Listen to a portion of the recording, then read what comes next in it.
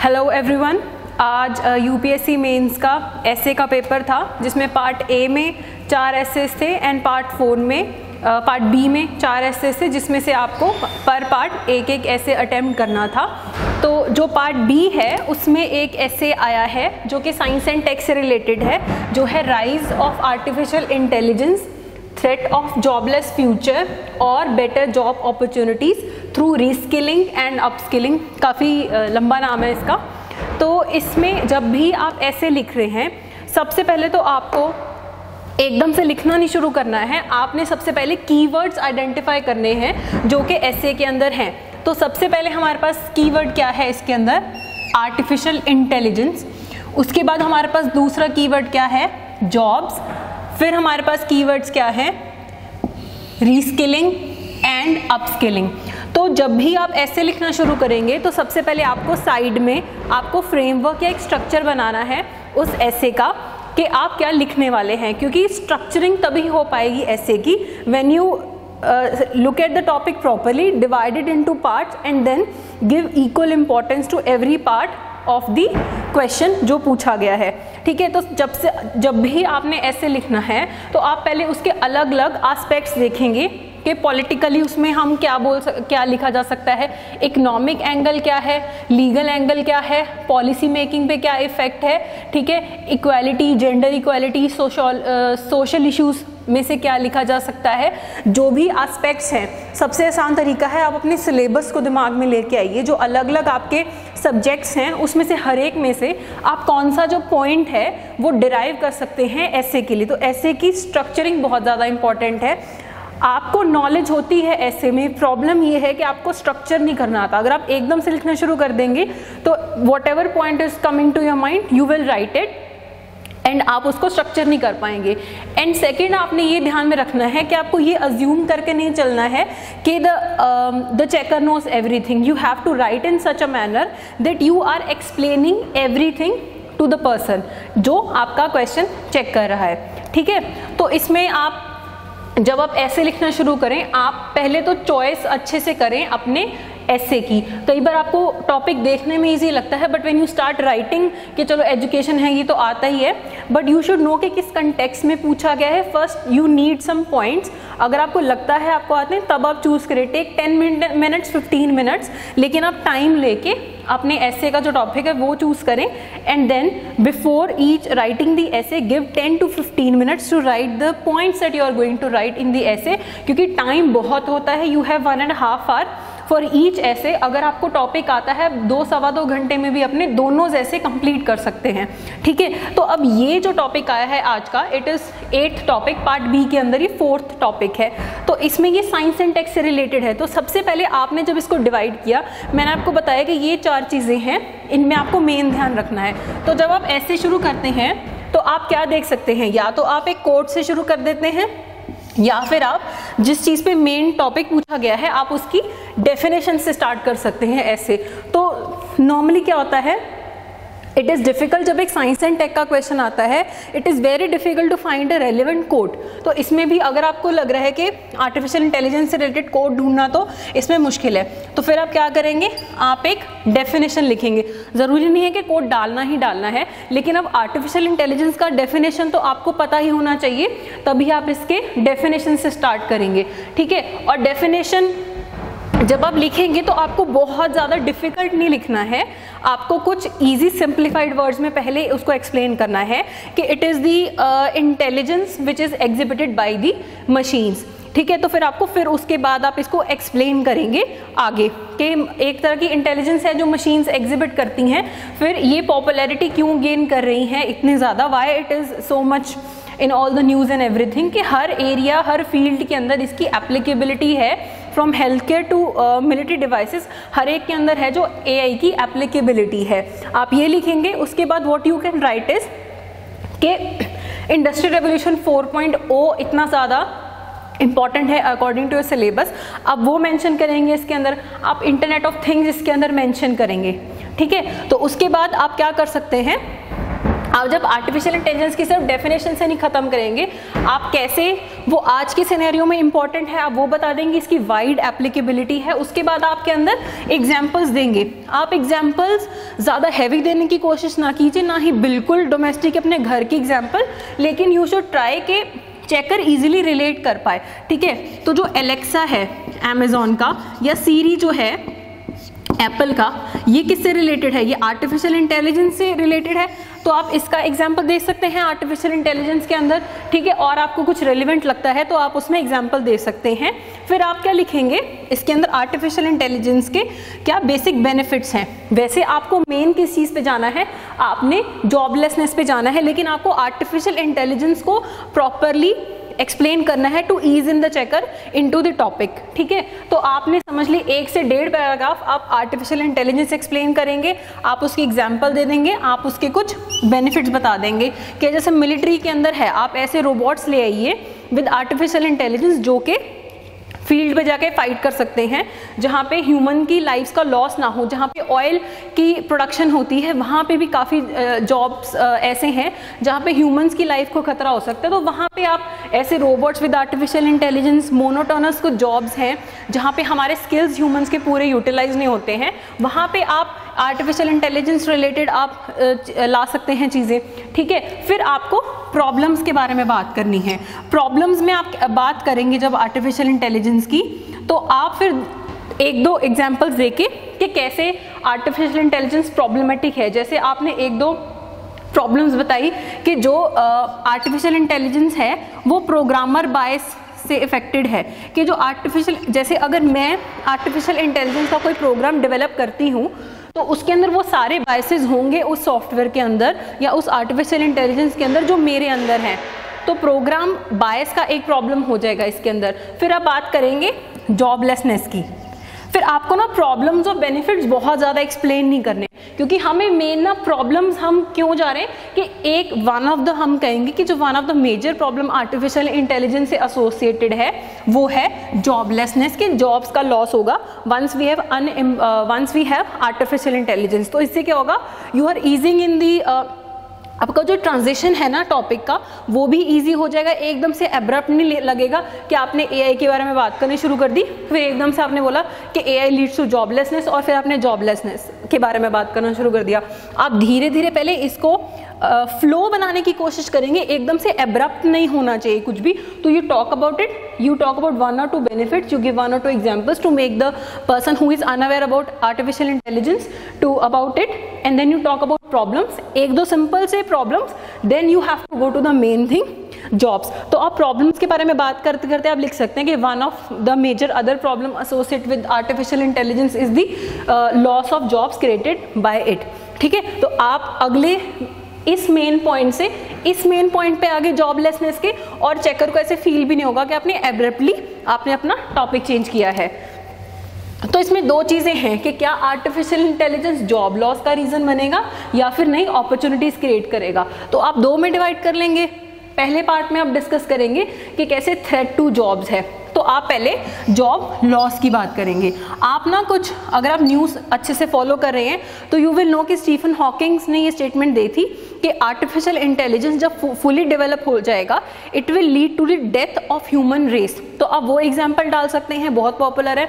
उसके बाद आप जब नेगेटिव्स ऑफ़ और आर्टिफिशियल इंटेलिजेंस की बात करेंगे तो आप फेसबुक का एक चैटबॉट था, जो जिसमें उन्होंने एक एआई आर्टिफिशियल इंटेलिजेंस प्रोग्राम शुरू किया था, लेकिन उन्होंने अपना ही एक चैटबॉट ने अपना ही एक लैंग्वेज डेवलप कर लिया था, जो कि ह्यूमंस को समझ नहीं आ रहा था। तो वो नेगेटिव्स में ऐसा एग्ज़ाम्पल डाल के समझाने की कोशिश करें don't go into details कि ऐसा जो बहुत न्यूज़ में हो, ज़्यादा दिमाग ना लड़ाना पड़े पड़े चेकर को ठीक है तो फिर हम जॉब लॉस की बात करेंगे। जॉब लॉस में भी आपको ना आस्पेक्ट्स देखने हैं। पहली बात है कि किस टाइप के जॉब्स का लॉस होगा। लो स्किल्ड वाले जॉब्स का लॉस होगा सेमी स्किल्ड वाले जॉब्स का लॉस होगा या हाई स्किल्ड वाले जॉब्स का लॉस होगा बिकॉज़ ऑफ़ आर्टिफिशियल इंटेलिजेंस तो हम बोलेंगे कि अभी जो करंट सिनेरियो है, उसमें ये हो रहा है कि रोबोटिक्स ऑटोमेशन या जो भी आर्टिफिशियल इंटेलिजेंस जहाँ जहाँ पे एप्लीकेबल है, वहाँ पे स्पेसिफिकली लो स्किल्ड जॉब है, जो मोनोटोनस जॉब्स हैं, उसमें हो रहा है। लेकिन धीरे धीरे जैसे टेक्नोलॉजिकल एडवांसमेंट हो रहा है वैसे वैसे जो सेमी स्किल्ड हैं उनमें भी जॉब लॉस हो रहा है, लेकिन हाई स्किल्ड जो हैं, उनके अंदर अभी इतना इंटरवेंशन नहीं हुआ है आर्टिफिशियल इंटेलिजेंस का तो आप इसको डिवाइड कर देंगे, ठीक है? उसके बाद आप एक और एंगल क्या, एक और डायमेंशन क्या ले जा सकते हैं? आप बता सकते हैं कि डेवलप्ड कंट्रीज़ के अंदर ज़्यादा लॉस होगा या डेवलपिंग कंट्रीज़ के के अंदर ज़्यादा जॉब लॉस होगा या अंडर डेवलपिंग के अंदर कैसे होगा? फिर आप उसके अंदर ये बोल सकते हो कि जैसे जापान है, एक कंट्री है उसके पास टेक्नोलॉजी में बहुत ज़्यादा हाई एडवांसमेंट है, लेकिन उनके पास ना लेबर नहीं है चीप तो उनके लिए ज़्यादा इंसेंटिव क्या चीज़ देगा कि वो आर्टिफिशियल इंटेलिजेंस रोबोटिक्स इस चीज़ को डिवेलप करें और उसमें अपना जो है इन्वेस्टमेंट करें। जो डेवलपिंग और अंडर डेवलप कंट्रीज़ हैं, उनके लिए आर्टिफिशियल इंटेलिजेंस के अंदर इन्वेस्ट करके जॉब्स लॉस करना बेनिफिशियल नहीं रहेगा। पहली बात तो इतना एडवांस टेक्नोलॉजी नहीं है जैसे इंडिया हो गया या और पुअर कंट्रीज़ हैं इंडिया से ज़्यादा, जिनके पास इतनी टेक्नोलॉजी नहीं है, वहाँ पे तो उनको कोई इंसेंटिव ही नहीं है एआई को लेके आने का, ठीक है? लेकिन इनडायरेक्ट अंडर डेवलप्ड और डेवलपिंग कंट्रीज़ पे क्या इम्पैक्ट होगा कि जहाँ ये डेवलपिंग कंट्रीज़ पहले इंडिया में आके अपने मैन्युफैक्चरिंग कर सकता था, अब उनको लगेगा कि हम एआई से रोबोटिक्स के यूज़ के थ्रू हम अपने प्लांट्स में सेटअप कर लें तो इंडिया को इंडिया जैसी कंट्रीज़ को इनडायरेक्टली अपना जहाँ पे चीप लेबर अवेलेबल है, उसको यूज़ नहीं करेंगे। तो यहाँ पे आप एग्जांपल डाल दीजिए कि जैसे अली बाबा है, उन्होंने अपना एक जो यूनिट है, वहाँ पे आपने, उन्होंने पूरा रिप्लेस करके उन्होंने रोबोट्स ले आए हैं that are influence by the artificial intelligence तो ये एग्जांपल हो गया एडिडास का एक प्लांट है, जहाँ पे उन्होंने ह्यूमंस बिल्कुल ही रिप्लेस करके मशीन्स को लाना यूज़ शुरू कर दिया है। कहाँ वो प्लांट फिर इंडिया में लग जाता, अगर इंडिया में जॉब्स क्रिएट होते तो ऐसे आर्टिफिशियल इंटेलिजेंस किस टाइप के जॉब्स को इफ़ेक्ट करेगा? पहले आपने वो बात कर दी। फिर कंट्रीज़ को कैसे वो इम्पैक्ट करेगा? कैसे इनक्वालिटी लेके आएगा? आप उसकी बात करेंगे। लेकिन आपको सब कुछ जॉब्स के अराउंड रखना है, क्योंकि हम जॉब्स की बात कर रहे हैं। फिर वो हम बोलेंगे कि जॉब्स क्यों रिप्लेस करेगा? हमने कह दिया कि रिप्लेस करेगा। क्यों रिप्लेस करेगा? क्योंकि वो जो वर्क करेंगे, वो एफिशिएंट होगा। ये इकोनॉमीज ऑफ़ स्केल ना लार्जर स्केल पे इन्वेस्ट करेंगे तो पर यूनिट कॉस्ट लो जाएगा। अब ह्यूमंस हैं they work for eight hours ten hours twelve hours लेकिन जो मशीन्स हैं, वो ट्वेंटी फोर सेवन काम कर सकते हैं। तो ये एक फ़ायदा है। उसके बाद लॉन्ग टर्म में जाके ये चीप होने वाला है। इसलिए हम एआई के अंदर करेंगे। उसके बाद ना हमारे पास इन चीज़ों में ना डेटा बहुत ज़्यादा इंपॉर्टेंट है कि अब वर्ल्ड इकोनॉमिक फोरम ने अगर एआई पे कुछ बोला है, अब वहाँ मैकेजे ने कोई रिपोर्ट दी है, उसके बारे में यूएन ने कुछ बोला है, अब वो बता सकते हैं कि इतने अकॉर्डिंग टू वन रिपोर्ट के 450 मिलियन जॉब्स का लॉस होने वाला है इतने सालों के अंदर, ठीक है? तो वो सब आप यहाँ पे डाल देंगे। तो ये आग हो गया आपका। अगर आप इस ऐसे के ना हम चार पार्ट लेके चल रहे हैं। तो हमने पहले ए डिफाइन किया, फिर हमने देखा कि जॉब्स लॉस होंगे, कैसे लॉस होंगे। ठीक है, फिर हम बोल रहे हैं कि क्या जॉब लॉस होंगे? फिर हम बात करेंगे, हमने बोला कि हाँ जॉब लॉस हो सकते हैं ऐसे ऐसे हो सकते हैं अकॉर्डिंग टू सम स्टडीज़ इतने होंगे इतने होंगे। ठीक है तो जॉब लॉस तो इनएविटेबल है आर्टिफिशियल इंटेलिजेंस से। Then will talk about the creation of the jobs तो इसमें ना दो तीन चीज़ें आ सकती हैं कि कैसे एक तो जब नई टाइप की टेक्नोलॉजी आएगी तो नई टाइप की डिमांड क्रिएट होगी, नई टाइप की मार्केट आएगी, नए टाइप के जॉब्स क्रिएट होंगे। ठीक है? तो हम बात करेंगे कि जब भी नई टेक्नोलॉजी आती है तो हमेशा ये कहा जाता है कि there will be loss of jobs लेकिन फिर हम बात कर सकते हैं कि पहले भी रेवोल्यूशन आई हैं, पहले स्टीम इंजन आया था, पहले इंडस्ट्रियल रेवोल्यूशन आई थी। जब कंप्यूटर्स आए थे, तब भी ये बोला जा रहा था कि अब ह्यूमंस का काम नहीं होगा now the machines will replace every ठीक है? लेकिन ऐसा तो नहीं है। अनएम्प्लॉयमेंट इतना हाई लेवल पर नहीं क्रिएट हुआ। अनएम्प्लॉयमेंट की जगह क्या हुआ? नए टाइप की मार्केट क्रिएट होगी। मार्केट कंप्यूटर्स की वजह से समझ लो। कार्स नहीं जब आई थी तो उसकी वजह से लगा था कि जॉब जो है लॉस होगा। लेकिन क्या हुआ? एक मार्केट क्रिएट होगी अलग टाइप की, ठीक है? तो अलग टाइप की मार्केट क्रिएट हुई, अलग टाइप की डिमांड क्रिएट हुई तो उसको फुलफिल करने के लिए अलग टाइप की जॉब्स भी तो आएँगी। अगर नई टेक्नोलॉजी आ रही है तो उसको मैनेज कौन करेगा? ह्यूमंस मैनेज करेंगे ना? तो वो फिर आप यहाँ पे लिखेंगे कि नई टेक्नोलॉजी आती है तो नई डिमांड मार्केट जॉब्स और सब कुछ क्रिएट होता है तो एक तरह की जॉब क्रिएट होएगी। ठीक है? और जॉब्स कैसे क्रिएट होएँगी? नॉर्मली क्या होता है? पहले भी जब आप रेवोल्यूशन की ही बात अगर कंटिन्यू करें तो पहले भी जितने जॉब्स हुए हैं तो जॉब लॉस नहीं बोल सकते आप उसको आप उसको जॉब शिफ्ट बोल सकते हो। जो पहले एक पर्टिकुलर टाइप के जॉब से वो रिडंडेंट हो जाते हैं एंड नए टाइप के जो जॉब्स हैं, वो मार्केट के अंदर क्रिएट हो जाते हैं जब भी किसी भी टाइप का टेक्नोलॉजिकल डिसरप्शन आता है। आर्टिफिशियल इंटेलिजेंस क्या है? एक टाइप का टेक्नोलॉजिकल डिसरप्शन है तो शिफ्ट हुआ है जॉब मार्केट के अंदर। पहले कुछ चीज़ें थी जो ह्यूमंस को हाथ से करनी पड़ती थी, अब वो मशीन्स करते हैं, ठीक है? तो आपको फिर वो अब आप नहीं करेंगे, अब वो मशीन्स करेगी तो नए टाइप के जॉब्स क्रिएट हो गए। तो अब क्या हुआ? जैसे आर्टिफिशियल इंटेलिजेंस है तो अभी वो क्या करेगी? अभी जैसे जोमेटो का एग्ज़ाम्पल है। जोमेटो में उन्होंने कितने सारे एम्प्लॉयज़ को हटा दिया, क्योंकि जो टेली मार्केटिंग टाइप के जॉब्स हैं कस्टमर केयर्स की की बात है, वो सब कंप्यूटर जो सॉफ्टवेयर है, वो खुद से कर सकता है तो वो आपको, वो हो गया जॉब लॉस का एग्ज़ाम्पल लेकिन वहीं जहाँ पर आप ये वो, फिर नए नए जॉब्स भी जो क्रिएट हो रहे हैं आर्टिफिशियल इंटेलिजेंस की वजह से डाटा इंजीनियर्स की ज़रूरत है मशीन लर्निंग इंजीनियर्स की ज़रूरत है, ठीक है? तो एक आप बोलेंगे कि एक नए टाइप का मार्केट भी क्रिएट होगा. एंड प्लस और मार्केट क्रिएशन की क्या बात करेंगे आप? कि ज़्यादातर जो जॉब्स होंगे ना एआई को दिए जाएँगे. पहली बात तो ये है कि ज़्यादातर जो एआई चेंजेस लेके आएगा ना, उसके अंदर ऐसे जॉब्स होंगे कि they will be they will work with the humans कि ह्यूमंस का जो मोनोटोनस पार्ट होगा ना जॉब का, वो हट जाएगा. बाकी जो काम है वो किसको करना पड़ेगा? ह्यूमंस को ही करना पड़ेगा. जैसे अभी एक पर्सन लॉयर है ठीक है? और आर्टिफिशियल इंटेलिजेंस से एक लॉयर को क्या इम्पैक्ट पड़ेगा? जितना तो फाइलिंग का काम है डॉक्यूमेंटेशन का काम है, वो तो मशीन लर्निंग के थ्रू भी मशीन्स भी कर सकती हैं, ठीक है? उसमें ए आई का एप्लीकेशन है, लेकिन बाकी जो केस लड़ना है, जहाँ पे ह्यूमन इंटरेक्शन की ज़रूरत है, वो जो है, वो नहीं क्रिएट हो सकता ना तो नई टेक्नोलॉजी मतलब नए जॉब्स फिर आप मोबाइल्स की एग्ज़ाम्पल दे दो। बीस साल पहले तो किसी को नहीं लगा था कि जो मोबाइल एप्लीकेशन डेवलपर है, वो किसी टाइप का एक जो है जॉब हो सकता है। लेकिन नई नई टेक्नोलॉजी आई है मोबाइल्स आए हैं तो नया जॉब क्रिएट हो गया। ठीक है? तो अब आप क्या बात करेंगे? आप बोलेंगे कि हाँ जॉब नए क्रिएट होंगे ऑल दो कुछ जाएँगे, लेकिन नए जॉब्स भी क्रिएट होंगे शिफ्ट होगा। तो अब हमें ना सबसे पहले एक्सेप्ट करना है कि एआई से जॉब्स का लॉस तो होगा। अब उसको हमें मैनेज कैसे करना है? अब उसको हम मैनेज करने के लिए हम अगले पार्ट ऑफ़ ऐसे पे जाएँगे। आपको ये बात, आपको ना जब ऐसे लिखना है, आपको ये चीज़ नहीं भूलनी है। आप फ्लो फ्लो में जो आपको आता है, वो नहीं लिखते जाना है आपको। अभी हम यहाँ से हम पहले आर्टिफिशियल इंटेलिजेंस से जॉबलेसनेस की तरफ़ गए, फिर हम गए क्रिएशन ऑफ़ जॉब की तरफ़ गए। अब हम रीस्किलिंग और अपस्किलिंग की तरफ़ आगे बात करते करते, ठीक है? तो अब क्या हुआ? हमने बोला कि हाँ जॉब्स भी होगा, लेकिन अब इस जॉब लॉस को हमें कैसे मैनेज करना है? जॉब लॉस को हमने अपॉर्चुनिटी में कैसे करना है? रीस्किलिंग और अपस्किलिंग से। ठीक है? तो अब हमें ना पेपर में रीस्किलिंग और अपस्किलिंग का मतलब पता होना चाहिए था, ठीक है? वैसे तो आप पढ़ के भी बता सकते हैं रीस्किलिंग में क्या होता है कि आप, समझ लो एक पर्सन ए टाइप का जॉब कर रहा है, अब ये जो जॉब है, समझ लो आर्टिफिशियल इंटेलिजेंस आने के बाद रिडेंडेंट हो गया, बिल्कुल ही उसकी ज़रूरत ही नहीं है अब। टेली मार्केटिंग में समझ लो वो जॉब करता था, अब उसको ज़रूरत ही नहीं पड़ी इसकी। अब इसको क्या करना पड़ेगा? एक नया स्किल सेट डिवेलप करना पड़ेगा न्यू स्किल सेट डिवेलप करना पड़ेगा। तो वो क्या करेगा? उसकी रीस्किलिंग होगी आपको उसको दोबारा से नई चीज़ का स्किल देना पड़ेगा। ठीक है? और दूसरे में क्या हो सकता है? अपस्किलिंग कि ऑलरेडी आपका एक जॉब है।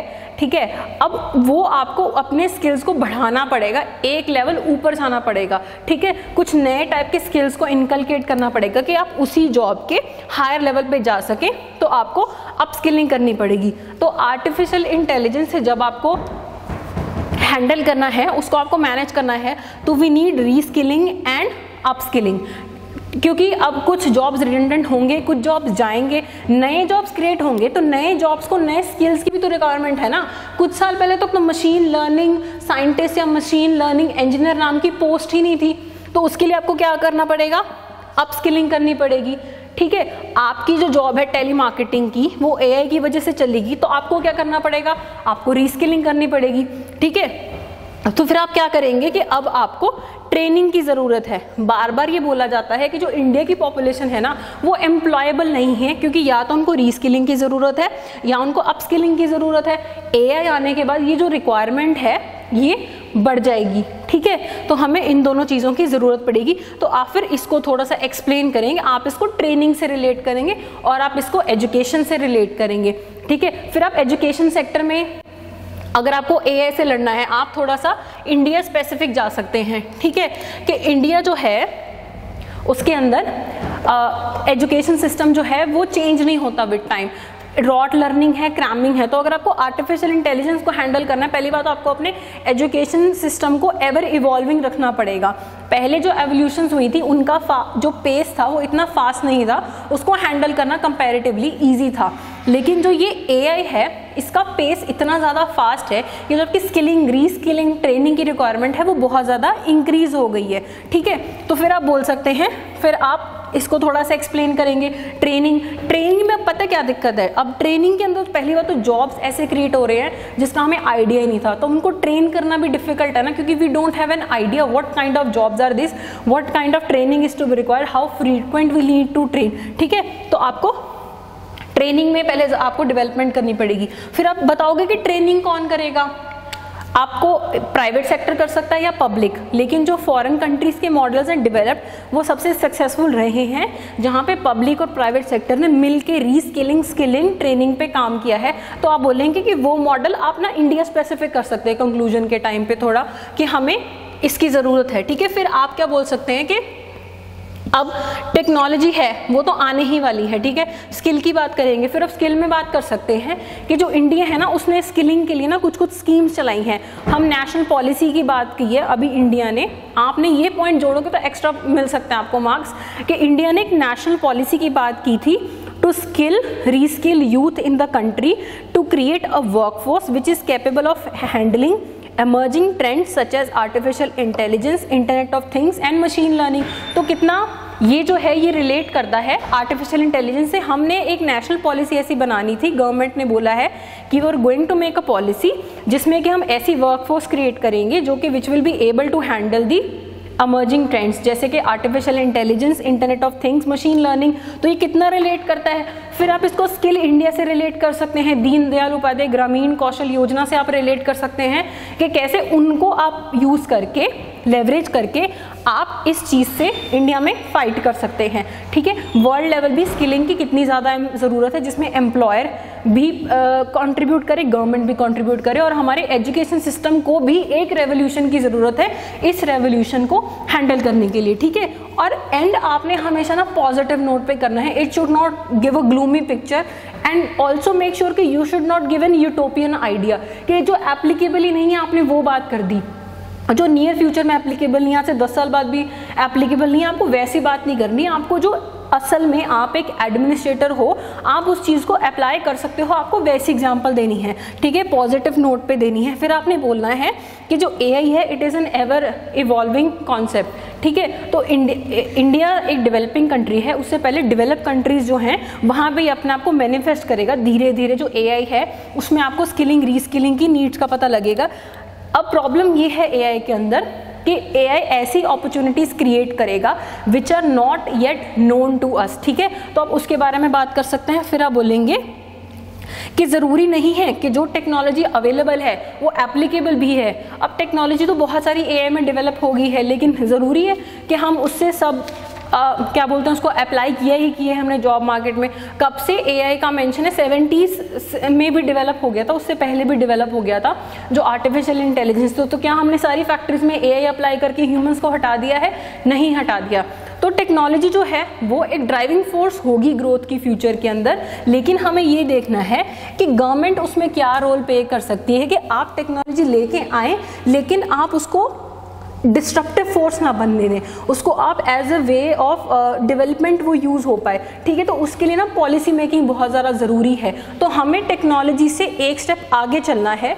जो हमारी पॉलिसीज़ हैं, वो हमें इस टाइप से डिज़ाइन करनी है कि we are not behind the technology हम उससे पहले ही चल रहे हैं। अपनी पॉलिसीज़ उस हिसाब से चेंज कर रहे हैं, हम अपना एजुकेशन उस हिसाब से चेंज कर रहे हैं। हम अपनी स्किलिंग के जो सेक्टर है, उसके अंदर हम बेटर अपने आप को कर रहे हैं कि ये ना हो कि एक बार आ गया जो चेंज है मार्केट के अंदर, उसके बाद we are trying to skill our जो पॉपुलेशन है। क्योंकि टेक्नोलॉजी तो इतनी जल्दी चेंज हो रहा है, अगर उससे एक कदम पहले नहीं रहेंगे तो वो डिस्ट्रप्टिव फोर्स बन फोर्स बन जाएगा और उसका फ़ायदा नहीं हम ले पाएँगे। तो हमें एक तो रेगुलेशन ऐसी लेके आनी है कि टेक्नोलॉजी डिस्ट्रप्टिव ना हो पाए। हमें अपने जो है रेडी रहना है। एजुकेशन में हमें चेंजेस लेके आने हैं। हमें पब्लिक पॉलिसी लेके आनी है। वैसी पब्लिक प्राइवेट पार्टनरशिप लेके आनी है, ताकि अब हम एंड में लिख सकते हैं कि जो एआई है ना, वो क्या कर सकता है? वो दोनों चीज़ कर सकता है। It can lead to job creation also and it can lead to job loss also it depends upon how we are handling the technology how our policy making is how our education system evolve and how through public private partnership we adapt to the technology ठीक है तो आप इस तरीके से ऐसे लिखेंगे और एंड भी अब्रप्ट नहीं होना चाहिए, एक फ्लो होना चाहिए। फ्लो कैसे बनेगा कि आपने स्टार्टिंग में एक पूरा एक फ्लो चार्ट बनाएँ पॉइंट्स लिखें, आप उसमें ईज इन करें पूरे टॉपिक के अंदर। कहीं पे भी ऐसे रहना चाहिए कि चलो कंक्लूजन एंड नीचे आपने कंक्लूजन लिखना शुरू कर दिया। इन इट सेल्फ आपका ऐसे ऐसा हो कि उसको फील हो कि हाँ you are moving from here to here to here and to the conclusion ठीक है? जहाँ हो सके इंडिया का पर्सपेक्टिव डालें, एक ग्लोबल एग्ज़ाम्पल डालें, ठीक है? एंड पॉजिटिव एंड पे आपको उस ऐसे को खत्म करना है, ठीक है? And don't go beyond the word limit ज़्यादा वर्ड्स लिखने से ज़्यादा मार्क्स नहीं मिलते हैं। बहुत एक्स्ट्रा कलरफुल लैंग्वेज लिखने से नहीं, आपको एक्स्ट्रा मार्क्स मिलेंगे, आपको टॉपिक पे रहने से मार्क्स मिलेंगे टॉपिक से रेलिवेंट लिखने से मार्क्स मिलेंगे कि आपके ये सारे जो आस्पेक्ट्स हैं, ये नहीं कि आप एआई के बारे में लिखना शुरू कर दिया तो आप एआई के बारे में ही लिखते जा रहे हैं। You are not talking about it आप इनका डेफिनेशन दे रीस्किलिंग क्या होता है? अपस्किलिंग क्या होता है? जॉब क्रिएट होगा कि नहीं होगा? और एंड में आपको पॉजिटिव पिक्चर देनी है विद कि आपको बताना है कि गवर्नमेंट पे कैसे डिपेंड करता है। ठीक है? तो वो सब आपको लेके चलना है। ऐसे में आपको वर्ड लिमिट क्रॉस नहीं करनी है। आपको पता होना चाहिए कि आपकी एक लाइन में आप कितने वर्ड्स लिखते हैं। तो आपको पेपर में जाके गिनने की ज़रूरत ना हो। आपको आइडिया हो कि हाँ चार पेज का होगा। आप यू ट्राई कि 800 टू 1000 में आपका ऐसे खत्म हो हर टॉपिक का। ट्राई करें 800 में ही खत्म हो जाए अगर उन्होंने थाउज़ेंड की डिमांड की है। ये आपको विद प्रैक्टिस आएगा। तो जिन बच्चों ने अगले साल पेपर देना है, वो इस साल के इन टॉपिक्स को लिखने का ट्राई करें ज़रूर। जैसे आज मैंने इसका बताया है, मैंने आपको कंटेंट नहीं आई जस्ट टोल्ड यू कि आप ऐसे लिख सकते हैं। There can be other ways also to write this topic लेकिन every thing should be covered जिससे कि जो चेकर है, उसको उसको पढ़ने में डिफिकल्टी ना हो। ठीक है? Thank you so much